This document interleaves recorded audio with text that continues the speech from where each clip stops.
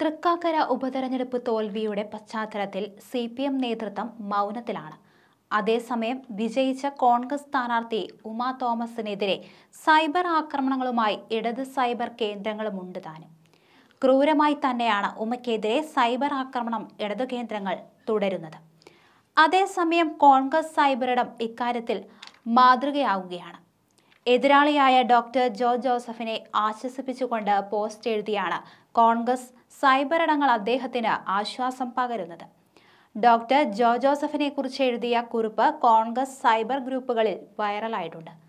രാഷ്ട്രീയ എതിരാളി എന്നതിൽ കവിഞ്ഞ് ഒരു കോൺഗ്രസുകാരനും വ്യക്തിവിരോധമില്ലാത്ത നല്ലൊരു പച്ചയായ മനുഷ്യനാണ് ജോ ജോസഫ് എന്നും അദ്ദേഹത്തെ വേദന അനുഭവിക്കുന്നവർക്ക് ആവശ്യമുണ്ടെന്നും പോസ്റ്റിൽ പറയുന്നു. ജോ ജോസഫ് ഒരു നിഷ്കളങ്കനായിരുന്നിരിക്കാം. കാരണം അദ്ദേഹത്തിന്റെ വാക്കുകളിൽ നാക്കുപിഴകൾ ഉണ്ടായിരുന്നു. അദ്ദേഹത്തിന്റെ സംസാരങ്ങളിൽ പെരുമാറ്റങ്ങളിൽ ഒരു തിടുക്കവും ആവലാതിയും നമ്മൾ കണ്ടിട്ടുണ്ട്. പോസ്റ്റിൽ കുറിച്ചു.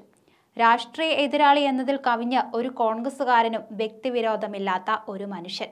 അപമാനഭാരത്താൽ തല കുനിച്ചല്ല തല നിവർത്തി അഭിമാനത്തോടെ ജീവിക്കുക. ഈ മണ്ണ് ജയിച്ചവന്റെ മാത്രമല്ല തോറ്റവന്റേത് കൂടിയാണ്. നിങ്ങളെ വേദന അനുഭവിക്കുന്നവർക്ക് ആവശ്യമുണ്ട്. ഞങ്ങളുടെ ഭാഗത്തു നിന്ന് എന്തെങ്കിലും വിഷമം ഉണ്ടാക്കിയെങ്കിൽ ഞങ്ങൾ ക്ഷമ ചോദിക്കുന്നു.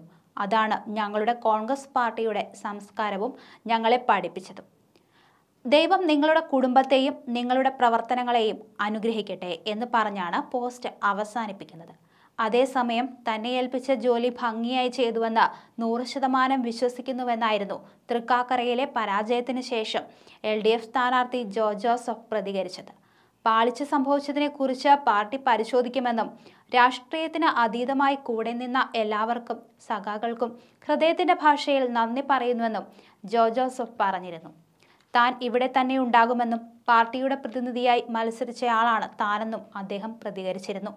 തൃക്കാക്കരയിലെ വൻ പരാജയത്തിൽ പ്രതികരണവുമായി എൽ ഡി എഫും എത്തിയിരുന്നു. പരാജയത്തെയും ജനഹിതത്തെയും പൂർണമായും അംഗീകരിക്കുന്നു. ഒരു തോൽവി കൊണ്ടെന്നും ഈ പാർട്ടി പിന്നോട്ട് പോകില്ലെന്നും ജോ ജോസഫ് പറയുകയുണ്ടായി.